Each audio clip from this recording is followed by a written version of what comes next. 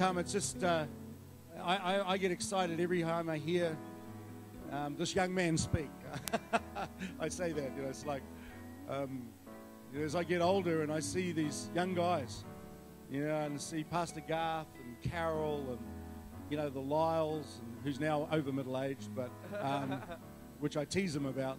Um, you know, these guys who started with youth and all those kind of things, but now Andrew has a ministry that um, uh, is Andrew Stone Ministries, and so he travels. He's been in the States this year. He's been all around Australia. He's been in New Zealand, and uh, all of those kind of things. And so he's continuing to go out. This is what he and Ali do. And uh, so tonight we're going to take up an offering for them. If you're not able to be here tonight and you want to sow into his ministry, uh, EFTPOS is available, and uh, maybe we can make a, um, something available at the table outside as well. Uh, there is some great product out there. I want you to put your hands together and give Pastor Andrew Stone a great welcome back to Invercargill. Great to It's true. You. Come on. Very good. You know, it's been like six weeks since I've been here. That's how much I love it. And uh, I came as my wife's baggage handler. Um, I just carried her bags, um, bought her food, she said, I feel like KFC. I said, I'll go get it for you. You're the speaker, I'm just the help. And uh, so I just wanted to. It's been so good to see her um, minister this weekend. I was up in the mother's room just for some of it, and I was just blessed. Um, and, you know, it has been such an intriguing journey. Let me just give you a little bit of history so you understand. The intriguing journey is that Ian and Dale have played such a pivotal point and part in our lives, not just the one off, but the continual voice. Um, sometimes you get ministered to in a moment, and then sometimes you get ministered in that moment that becomes a movement of some sort. And a relationship that is more than just, say, the laying on of hands. And I've had many great men and women of God lay hands on us, but very rarely do you continue a relationship that sees the fullness of things come through. Does that make sense? And, uh, and Ian and Dale have been so pivotal in our lives in this ministry. Not only were they the ones that prophesied this ministry before anybody else did, um, and accurately too. Um, not just, oh, we see a new season. Praise the Lord for the new season words, but we actually got greater clarity than that. Uh, and, and so one of the first voices that spoke into Allison's life was Dale. When we first came on staff, we, were, we didn't know anything, and we still don't know that much, but we still but we didn't know which pastor really knows what they're doing. Let's be really honest. We just jump in the river. You know what I mean? We just jump in the river and let it, let, us go with the flow here. And, you know, we, we, we had just started youth, and I remember Ian and Dale speaking into our lives, and it's just been so powerful. And to be here continually, this is like a family to me. I know so many of you, actually, that it's just like coming home. And that, that's why it's so comfortable for us to be here together, and for Allison to be here and minister at the women's conference, and it's just been so great to see that gathering. But, but also, people just assumed Ali had been here before. People were like, Ali's been here before. And I'm like, no, she hasn't. She'd have more warm clothes if she'd been here before. she, she, she'd never been here. But it's, it, it was like spirit, and, and that's what we're really talking about. And today, we're going to go on a journey, you know, this morning and tonight on something that I'm seeing shift in the kingdom. This is a conversation more than just a clean cut preach. Is that okay? Because I actually feel that there's a kingdom movement. And when you understand the movement, see, the kingdom's not a moment, it's a movement. And you have to understand that when you get into the movement of the kingdom, where we get to call the king dad, it's actually a family movement and family journey. So if we can do that together, we're going to have some fun. It's like one big sermon that I'm just going to cut in half and then finish it tonight. This morning, I want to talk about identity, and tonight, I want to talk about the authority that comes with the identity. See, it's like love without power isn't love, but power without love is dangerous. It's the same thing with identity that identity, like right, like I'm talking sonship in the kingdom, gender inclusive, of course, but sonship in the kingdom without authority is not sonship. But authority without sonship and identity is dangerous. We've seen this. We've seen it. The gift speaks for itself, and everyone's like, wow, look at the gift, but because there is no connection to Father, just a manifestation of a gift, people get hurt. See, when you minister a gift, to, to, to, to see the wholeness of it, not just healing, but wholeness of it, you have to do it with the Father's heart.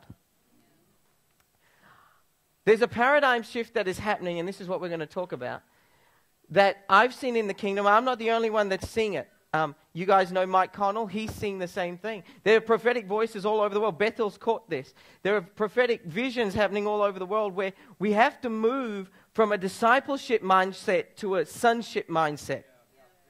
And this is why discipleship is not bad. Jesus uses those particular words. You know, go into all the nations, making disciples. So discipleship isn't, oh my goodness, I just don't want to disciple anybody anymore. No, discipleship is a function.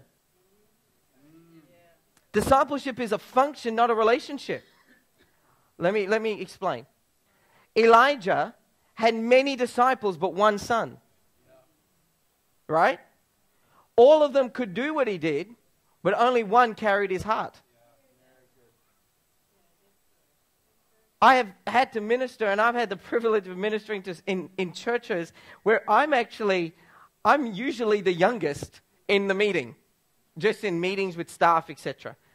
I preach for people that I'm young enough to be their son, sometimes their grandson. I'm, I'm not young enough to be a grandson. You know what I mean?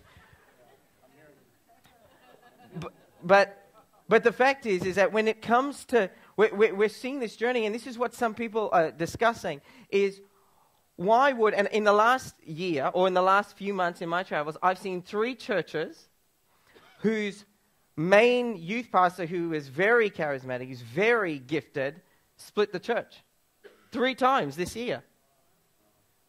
And it's because they carry this amazing ability of their lead, of the, of the senior pastor, but they don't carry his heart. Eh, any, anybody ever seen people that have this amazing ability, but then they don't, they don't see with the same eyes? See, so Elijah had many disciples, but one son. It's because disciples carry the ability of their leader, but sons carry the heart of their leader. And what I'm saying is this is that ability comes with the heart. If you capture the heart of your leader, you're going to get the, the ability anyway. But you can hunger for the ability. And uh, th- those disciples of Elijah didn't want to look for what Elijah would see, but they just wanted the gift. And this is something that I think as my generation needs to capture because disciples always want a job. They always want a job. They always want to earn something. Sons want an inheritance. Sons receive an inheritance. I was speaking with Ian and Dale this week, and I was talking about why I've had so much favor in Australia, and I couldn't figure out why until just on the plane over. And I was suddenly realizing that it's because of my slipstream of inheritance. Now, you know that my spiritual granddad is Clark Taylor. And I've, I, still, I came off a trip just in Sydney two days before I came here. We did a conference together. And what I'm saying is that it is unheard of. Let me just put the miracles out there now. It is unheard of for a 29, I'm 30 now, but when I started, I was 28, traveling full time. It's unheard of of someone in their 20s traveling full time in Australia and not having to go to America to make a living. It's true. And I suddenly realized why I'm uh, Australia and New Zealand. Now, I do go to America, but Australia and New Zealand have been so key to this ministry. It's because I have an inheritance in both. That's, that's, that's not just favor, there's provision that comes along with that because my spiritual granddaddy made room. See, I don't want to be Clark's disciple. I want to be in his sonship line. I don't want to just carry his ability to drop people at an altar. You've seen it. The leg and everything. And that Mike has magical powers. and it happens. I don't want to just carry that. Because you know what?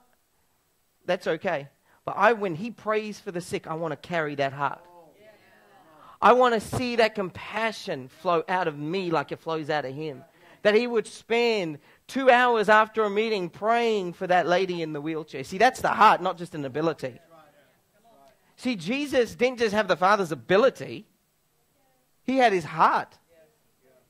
So when Jesus is being baptized, he said, This is my beloved Son in whom I am well pleased. He didn't say, This is my beloved apostle, pastor, prophet, teacher, evangelist. He said, This is my beloved Son in whom I am well pleased. The reason I bring that up is because as a minister, I have been so caught up in people putting me in a box. And I'm young enough to be, be spoken to by people with really good hearts who always try to prophesy into my life. And they'll say this Man, you are just such an evangelist. You're such a young evangelist. And the only reason they call me an evangelist is because I'm not on full time staff at a church. So because I travel, I'm an evangelist. But then I might teach the word in, that, in a different church. Oh, well, you were such a teacher. Praise the Lord for that. But they might see me move in, in the prophetic. Well, you're a prophet. You have the office of this, you have the office of that, you have the office of this. I don't want an office. I want the throne room. I don't want an office. That's for workers. Workers and servants and slaves get offices. Sons get the daddies. presents. You capture this? And unless we get, we don't have provision issues, we have position issues. That's it. Money's not our issue, nor is healing, nor is any of it. It's finding ourselves in the identity of son that we have to worry. So I want to declutter. Like I've uncluttered and decluttered God's love as much as I can, and I found that in that journey we've had to come to a place of I am loved by God because I'm a child of God. I bear his image and carry his name. And whatever name now, I want you to see this. Remember, Jesus says, Whatever you ask in my name. So, when Jesus says that, when we pray in the name of Jesus, it's not just a cute line at the end of a, of a, of a prayer. You know, so we pray something ridiculous and go, In the name of Jesus. And we hope that it works then, because we sealed it right. In the name of Jesus is not a cute way to end your prayer to make sure it gets done in heaven. In the name of Jesus, I want you to catch this because it'll change your life. In the name of Jesus is the abandonment of self and removing that of inferior identity and stepping into that of the superior identity. So when I pray in the name of Jesus, I'm exchanging myself and stepping into my true identity. Now, when I pray, that's why he said, whatever you ask in my name, it's found in John 14, 13. Whatever you ask in my name, and he repeats it twice. Whatever you ask in my name, it shall be done. It shall be done. Because when we exchange the identity of us for the identity of him, we now will ask only what Jesus would ask.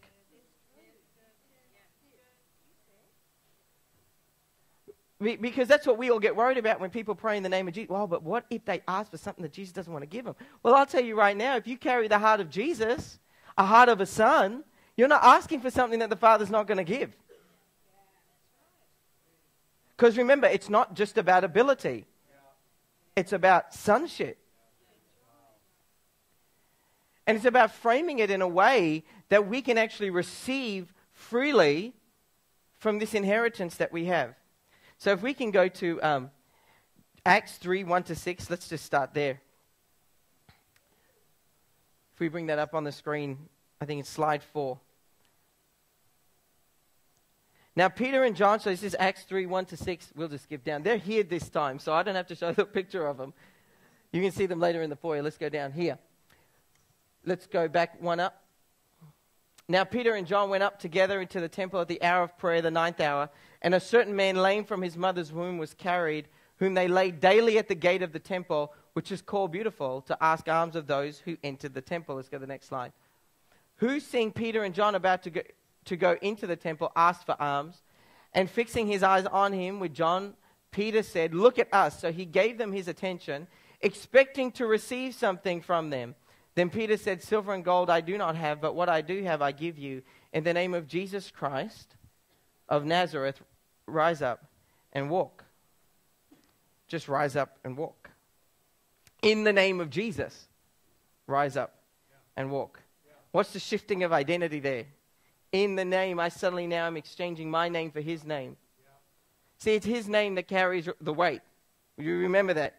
If you prayed in the name of Andrew Stone, nothing's going to happen. I, God did not make a covenant with me to save the world. Aren't you glad? He didn't make a covenant with me. He didn't make a covenant with humanity. He made a covenant with himself.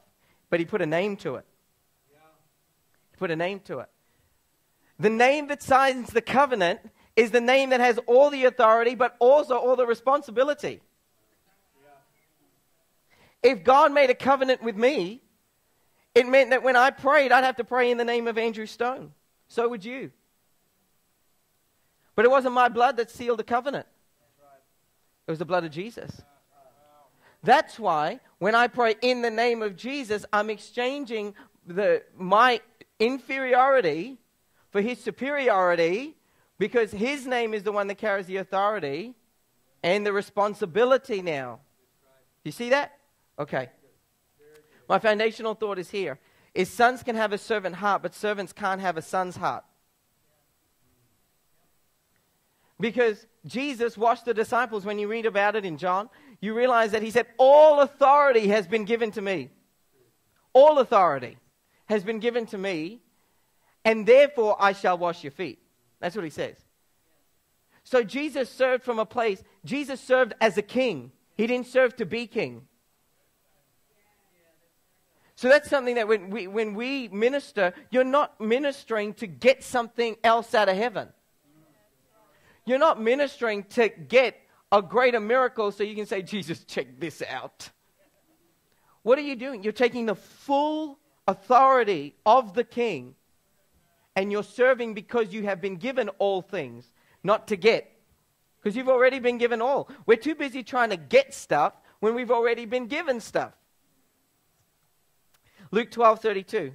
Let's have a look here. It says, Do not fear, little flock, for it is your Father's good pleasure to give you the kingdom doesn't say it is the it doesn't even say it is the lord's good pleasure. It doesn't say it is the king's good pleasure. It says the father's good pleasure to give you the kingdom. Why? Because we have to relate to god as father so that we can inherit something that only a family member can. See servants slaves and sons don't receive an inheritance.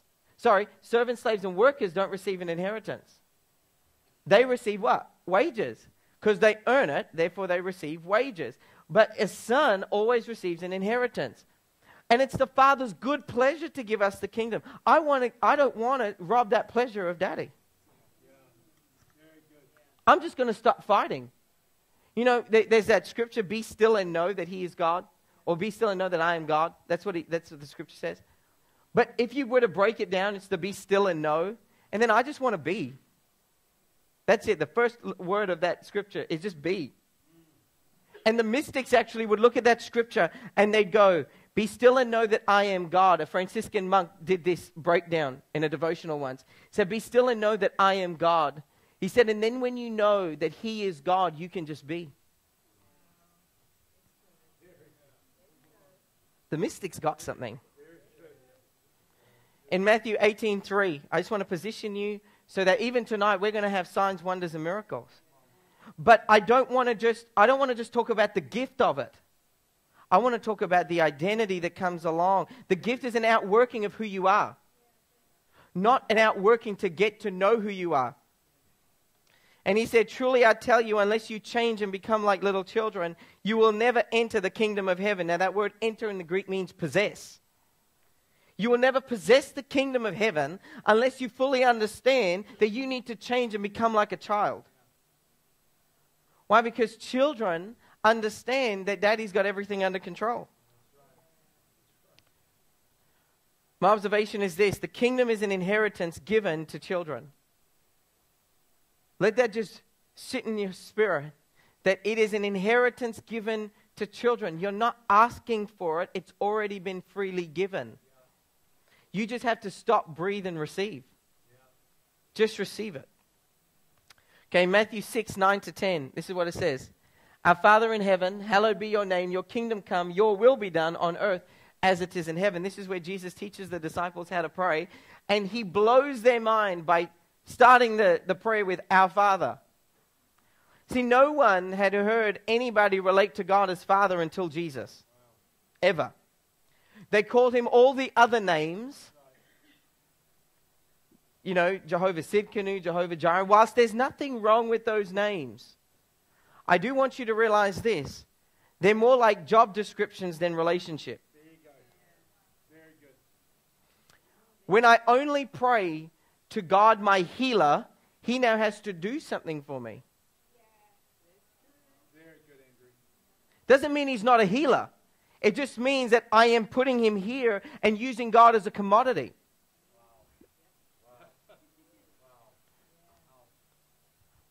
See, like I said before, the disciples, or disciples without sonship, discipleship without sonship, people will always take that discipleship and say, What can I get out of? What can I get? All I want is Clark's anointing. If I could only get Clark's anointing. But you don't actually care about the man, you want the gift. So if Clark was in trouble, he's not going to call you because you wouldn't care. I'm just putting it out there. That if you only see people as a commodity, and what can I get out of them, we will most likely do that to God too. Because relationship automatically means intimacy. And sonship brings you into a place of intimacy where he can see into you and you can see into him. So, this is what Jesus is saying. Now, this is more than a job description, boys. This is relationship. This is a sonship call to change the world. And you can't do that with a servant mentality or a slave mentality. The kingdom of heaven is given as an inheritance to children. And therefore, if the earth is the Lord's and everything in it, who do you think he's going to give it to? Children. To children. You want your business to prosper, it's your inheritance. If you want a city, if you want to take a city, I'm going to tell you crazy stories tonight about how creation responds to us. Okay? But if you want a city, you have to understand that it's your inheritance. You don't have to get God to like you to give it to you. You just have to receive it. So he says, Our Father. He goes, Abba, Daddy God. And the disciples are like, What? We knew him as this and we knew him as that, but we never called him daddy. Because calling somebody dad's dangerous. Because now it's not just about clean cut relation, you know, clean cut. Here's the box. This is when I use you. This is where we meet. Now it's about constant. There is a dance of heaven that children get to be a part of.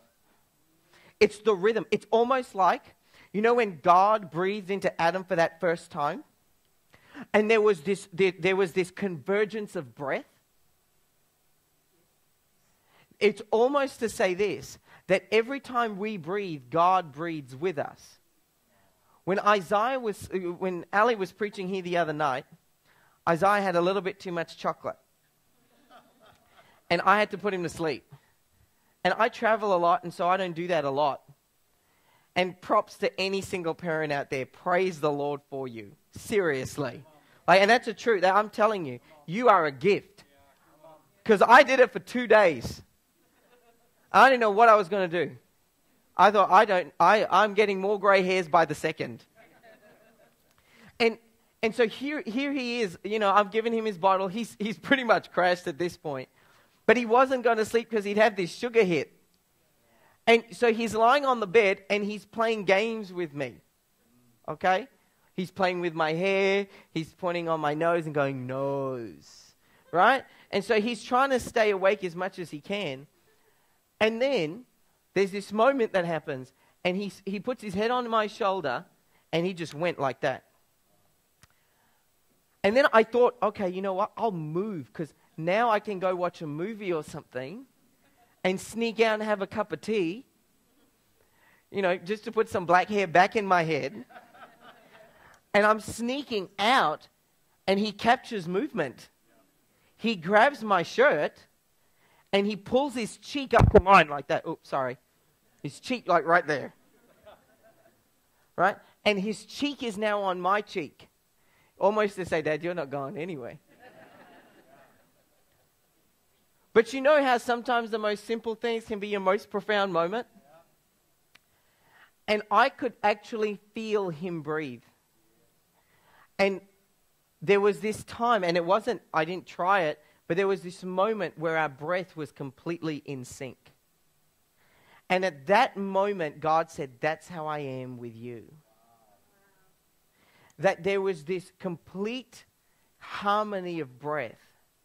And the word conspiracy actually means being so close that you share the same breath. See, we're part of a kingdom of heaven conspiracy. We're part of a kingdom of heaven conspiracy simply because we share daddy's breath. And we're so close that, that you can't put that in a box. And so here and I, here's Isaiah and myself, we're sharing each other's breath and we have this divine moment of complete intimacy and complete sonship.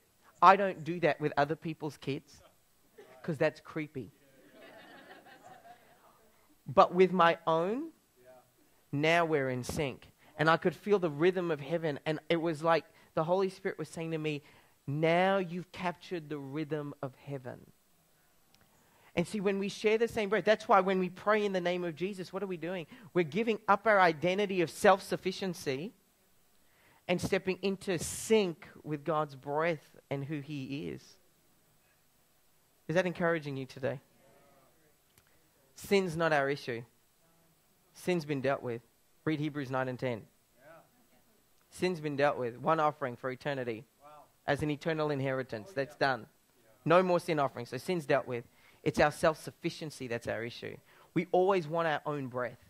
We always say, I want mine. I want, this is mine. I want this. I want that. Notice that even in the story of the prodigal son, that the, that the younger brother enters back into the household almost to say this. Now, when, when he says, when the younger brother says to the father, I want my own thing, what's he doing? He's saying, I don't want to be part of your breath anymore. I don't want this. I don't want to share the same breath. I want my own.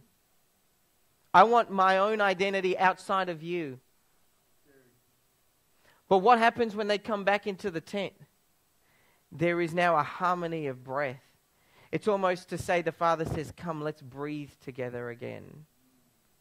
And in that place, that you, you don't have to kind of work. It's about actually uncluttering. I'm not adding anything to your spirituality. I'm decluttering the rubbish. You know, it's time to stop praying constipated prayers. It's true. It's a lot of effort and no result. We need some spiritual metamucil. Why? Because suddenly now it's as simple as the air that you breathe. And when you become aware of God with every single breath that you take, that's praying without ceasing. In Thessalonians, Paul asks us to do that.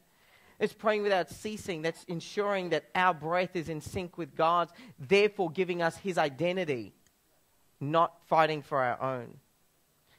So, Matthew 6, 9 to 10, Our Father in heaven, hallowed be your name. And then he goes on, and then after this moment, Jesus then says, Give us this day our daily bread.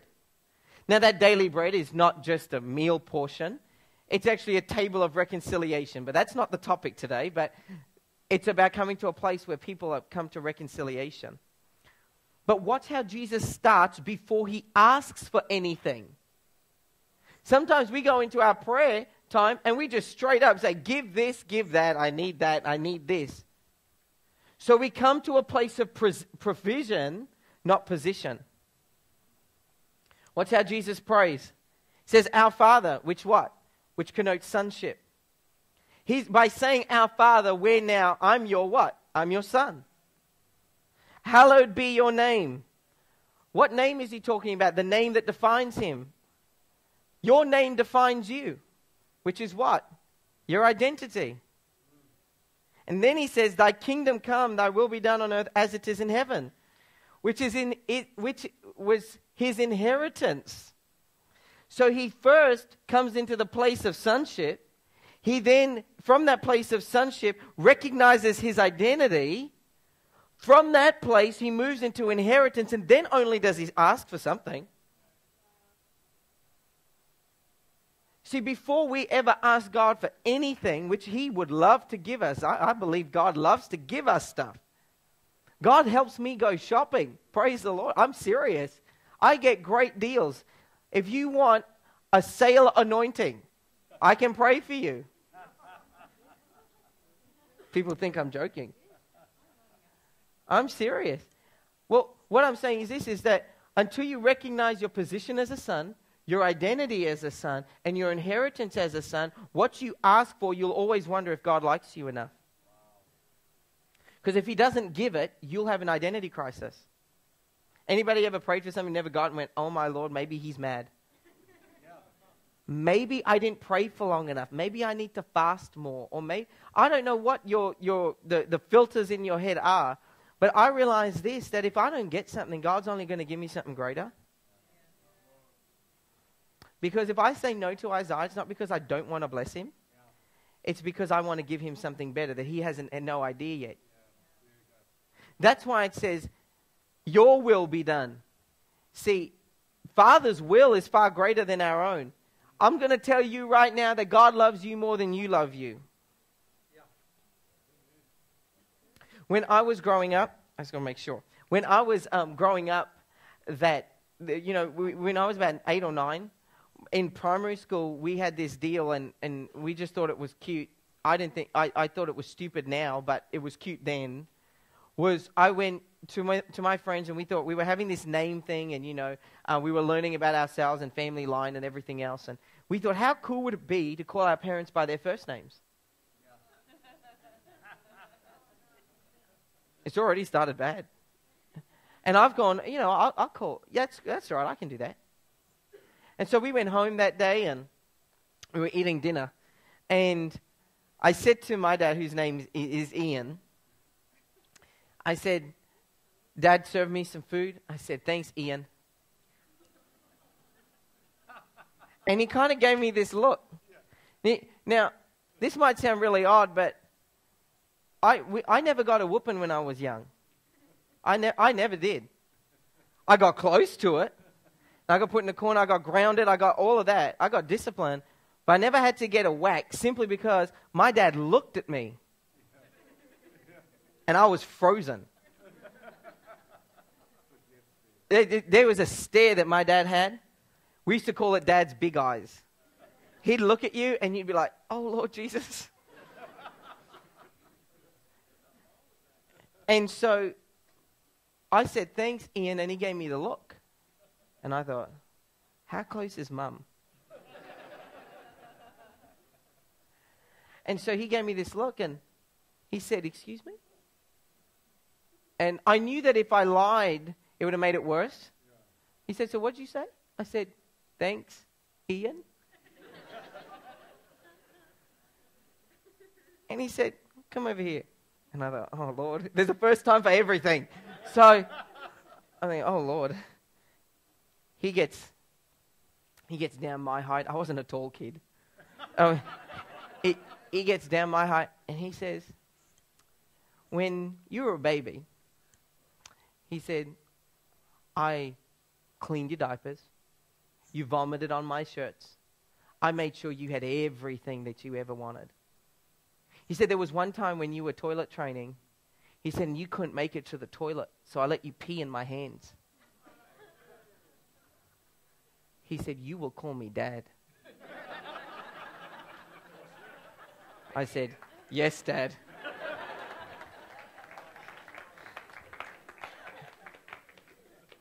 When you do that, you have the right to be called dad.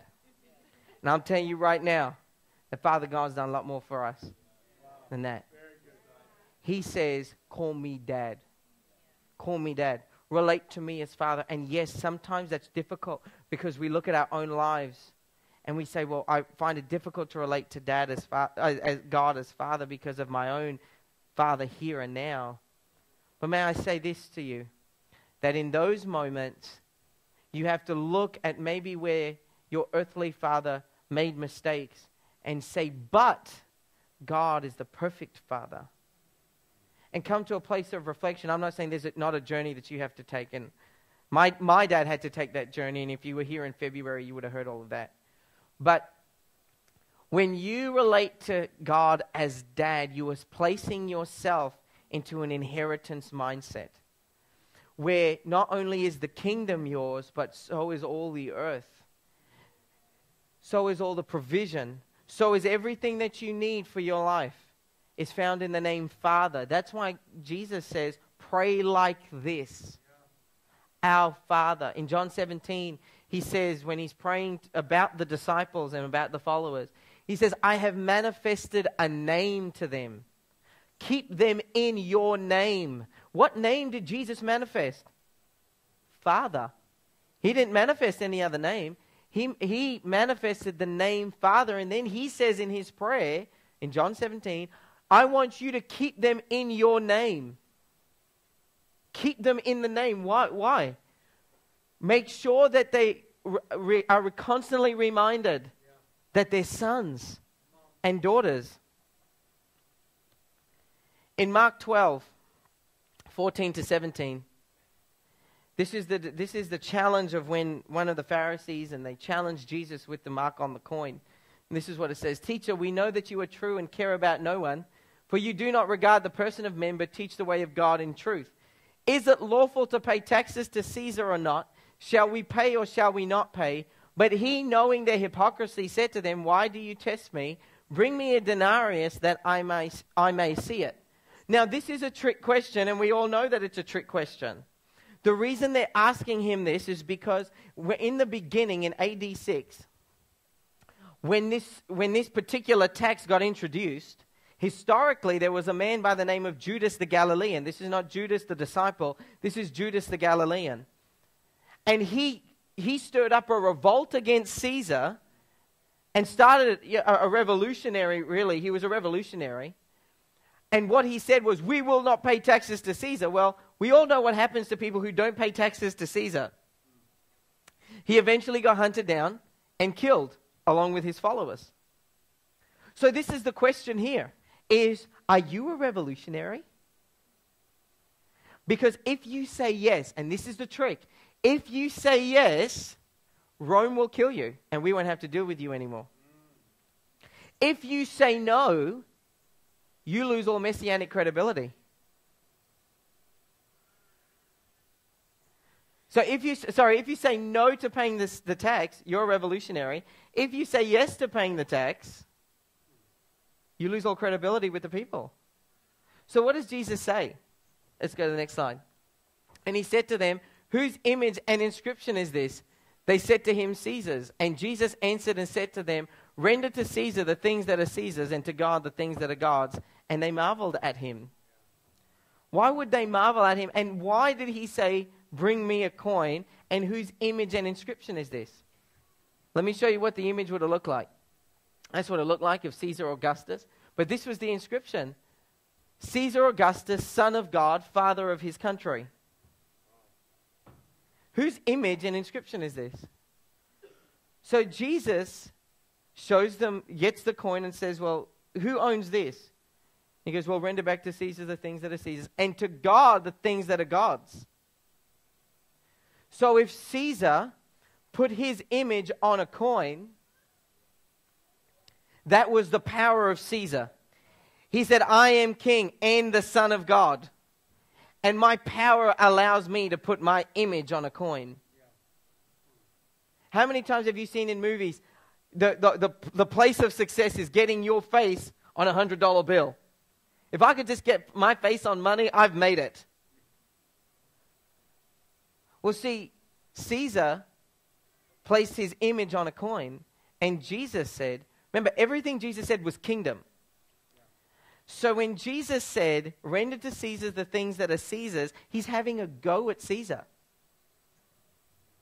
Because then he says, and render to God the things that are God's.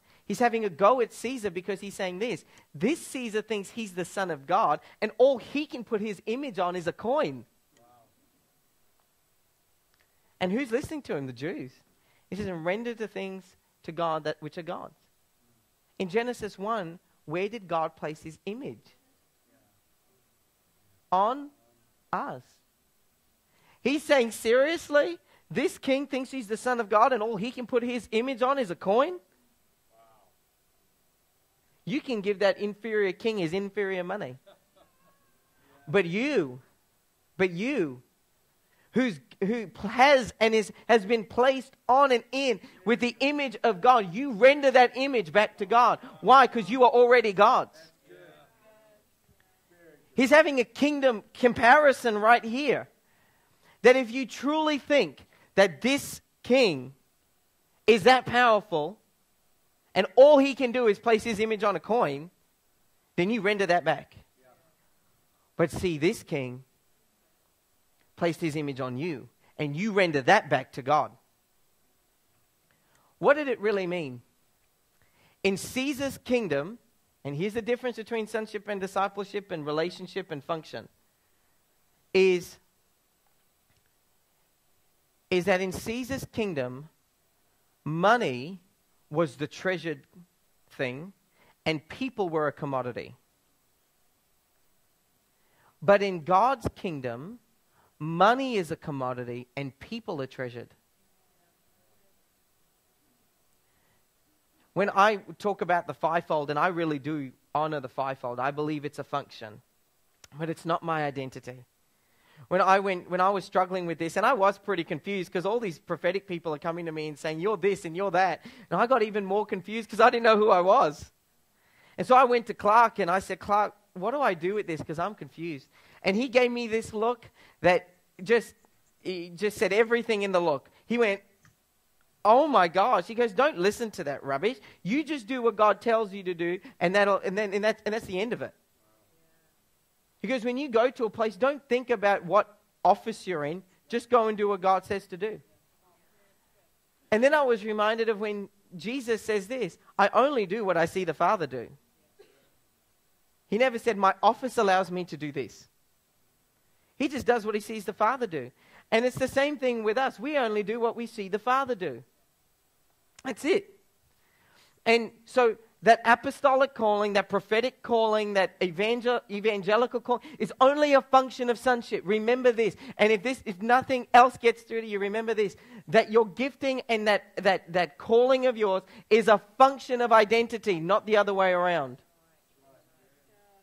Anyone that finds their identity in their gifting is really annoying. you guys know who I'm talking about. Everybody's going, I know that person. Why? Because now everything they do has to manifest the gift. Everything. Everything they do. See, people with title issues have entitlement issues. That's a word. Of course you will, because your whole person is a title. Take the title away. Do you know how many times I've been willing to hand back the title of pastor? At least a few times a year. I'm like, Lord, I, I can do something else. I am more than happy to do something else. But you know what? In that place of abandonment of self, I felt completely secure. I don't need Reverend Bishop Pope title. I don't.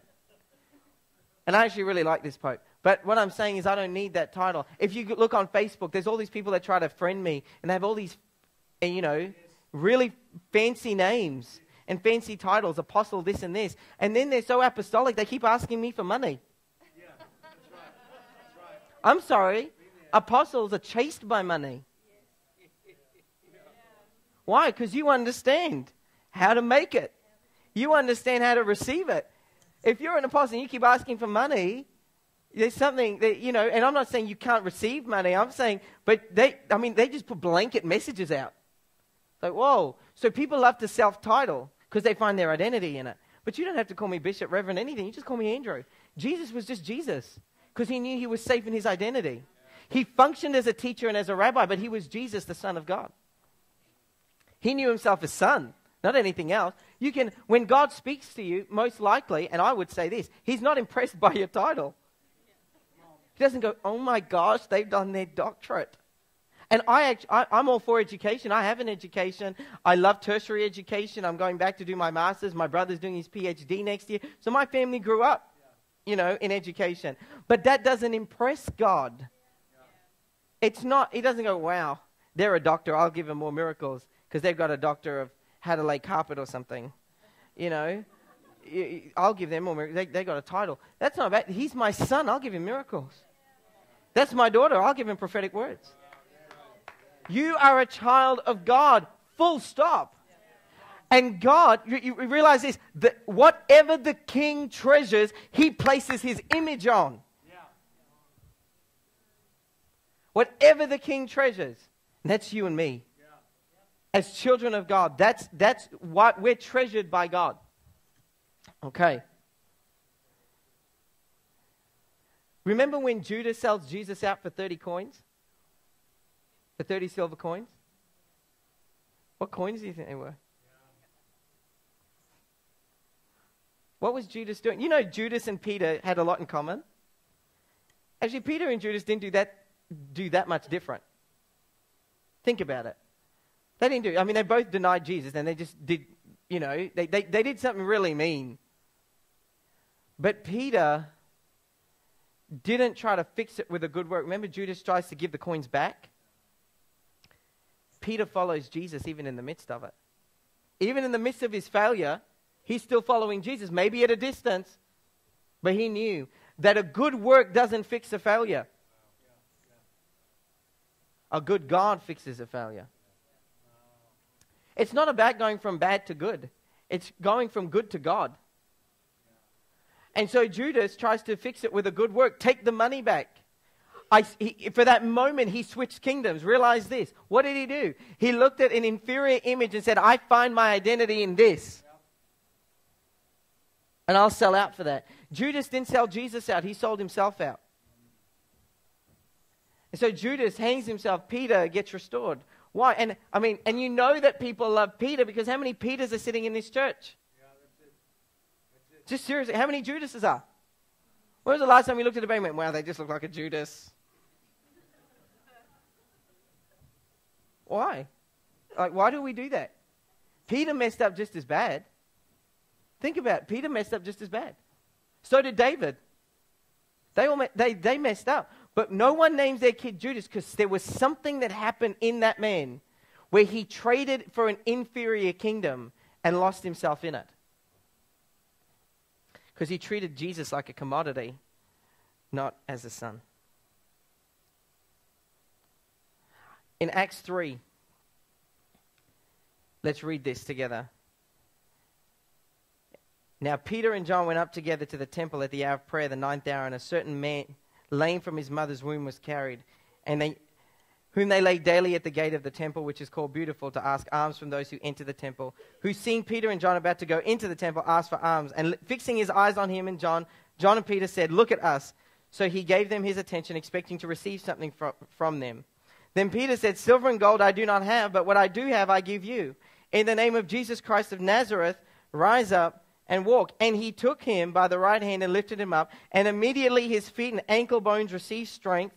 So he, leaping up, stood and walked and entered the temple with them, walking, leaping, and praising God. And everybody knew he was the beggar at the gate. What coins was he asking for? What coin was he asking for? Well, there was a temple tax that they only used in the temple which was a coin, which was a coin from Herod. But you've got to realize this lame man wasn't allowed in the temple.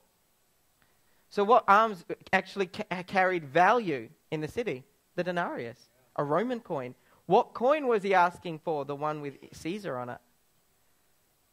So now we have a lame man sitting just beyond the gate asking for an image that is inferior. Peter comes along and says this Silver and gold I do not have.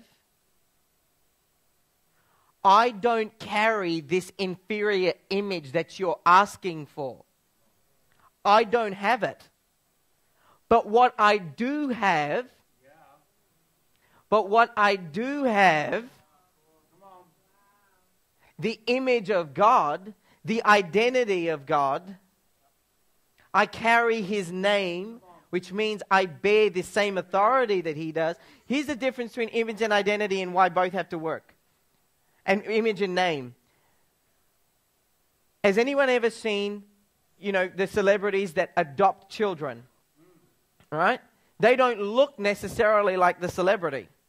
But what happens when they get adopted? They transfer what? Name, which means now that child that had nothing has everything, not because they look the same, but actually because they now carry the same name. We get the best of both. We carry the image and the name. That's why Paul said it's a spirit of adoption. Because your image got marred when Adam fell. But it was fully restored when Jesus reversed the curse. So, yes, the image was restored, but now the name defines us. So, G- so Peter says, Silver and gold I do not have. I don't carry the coin that you think is going to perpetuate your lameness. But what I do have, the image and the identity of the superior king, I now give to you. The man that was lame was lame for over 40 years. That's why later in the story you realize that they say, Bring his parents in. Bring his parents in. We want them to vouch for him. Now, why would they call his parents in when everybody's seen him lame? Now, one of the big, one of the, the cultural things that they did was beggars had like permission to beg. So they actually had, and I don't know if you've ever heard this from Shane before, but there, there was a shawl that they had, like a prayer shawl, but it was, a, it was one that identified them as a, as a beggar. So, and it would have covered him. So when he got up leaping and praising, that old identity fell off. And then they call in his parents. Now, where do we get our identity from? Our parents. Why do they call? What, what were they doing? They were saying, This is not an earthly identity. This didn't just come from you. Something's happened. That's why they said, Yeah, he, he was lame. I, I, we, it, this has happened.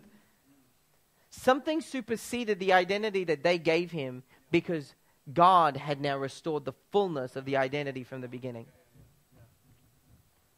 So now we have an, a man that's over 40. Why is this important? because 40 years speaks of a generation. 40 years speaks of a generation. And I would say this prophetically there is a generation that has been lame sitting at, outside the temple because they've lived under an inferior, inferior identity that only perpetuated lameness. But we, those that don't live under that inferior kingdom, need to restore identity and wholeness will come.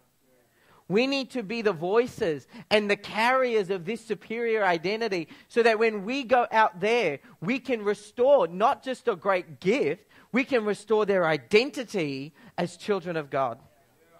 And then he went leap, leaping and jumping and praising the Lord. Why? Because his identity had now made him whole. You and I are carriers of a superior image. And like I said, we're talking about identity now. We, we'll talk about the authority that comes with it tonight. But you and I are carriers of this superior image, an image that makes people whole, simply because we're not commodities to God. We're not commodities. God just didn't need a workforce, so He created humanity. He was already in perfection, in harmony, Father, Son, Holy Ghost. He designed us to love us and to make us part of that dance or part of that family where we would share His breath. We're not striving for something we've already been given. We just have to stop, breathe, and receive. So I would ask us to, to do this. Take a moment right now. Why don't you close your eyes? And we're just going to become aware of the breath of God. And we'll become aware that we're children of God. See, in the inferior kingdom, we, we can struggle with things from it. If I could have the musicians up here, please. Things like anger, greed, bitterness, rejection, inferiority, even physical illness. See, that's from an inferior kingdom where where we're made to feel like a commodity. But actually, when we look up, like the lame man did, he had to look up to Peter. When we look up to the one that carries our true identity, and we receive that identity as a child of God, you and I can leap and praise and thank the Lord for his goodness. That healing and wholeness is part of your inheritance. You don't need to pray harder to get it. You actually have to just stop and be and just receive it.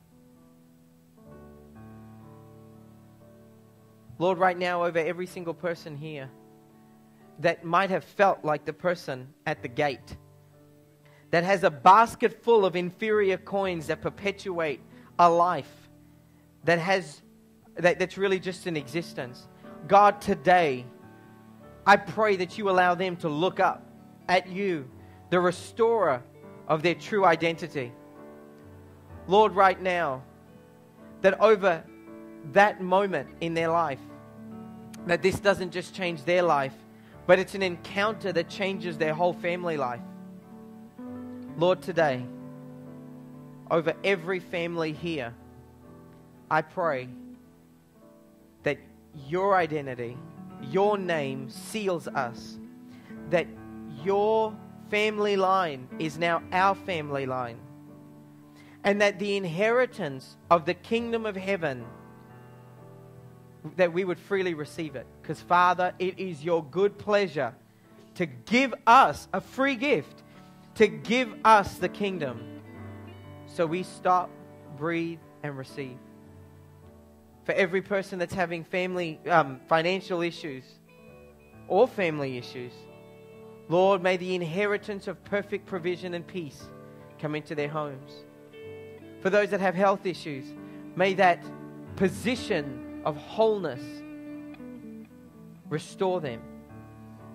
Lord, today, we declutter, unclutter, and come into that place of just being with you, being a child in the kingdom, and letting that be our, our identifier, not anything else. We scrap the titles, we scrap the trying, trying to find self worth, self sufficiency, and Lord, we abandon ourselves to the loving Father and his heart for us. In Jesus' name, amen and amen. Thank you, Jesus. Wow. Come on, let's put our hands together and just receive the word. Amen. Receive that word this morning. That was awesome. Awesome. I, I had a moment when you were sharing about, um, you know, holding Isaiah. Did you watch NCIS? Who watches NCIS? You know, like, remember when Agent David's father was shot if you've seen it. And she screamed out. I never got this until then because she's Hebrew, of course. He was, he was Israeli as well. And she held him and she screamed, Abba, Abba, Abba, Abba. You know, she's holding him. I went, I lost the rest of the program because I realized that closeness that you described this morning is what all of us have access to. The access of a father, Abba, Father. Something in us cries out, Abba, Father, Father. There's something. But when you give your heart to Jesus, come on, let's just stand for a moment. We, are going to finish. We're way over time. I apologize. It was his fault.